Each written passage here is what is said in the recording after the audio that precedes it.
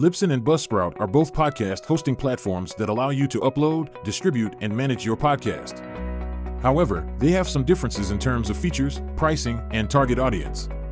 Libsyn is one of the oldest podcast hosting platforms, and it is known for its reliability and stability. It offers a wide range of features, including advanced analytics, detailed statistics, and the ability to monetize your podcast through sponsorships and ads.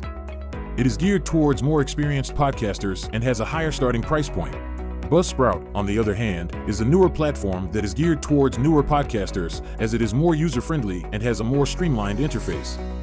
It also offers a wide range of features, including detailed statistics and the ability to monetize your podcast through sponsorships and ads, but does not have the same level of advanced analytics as Libsyn.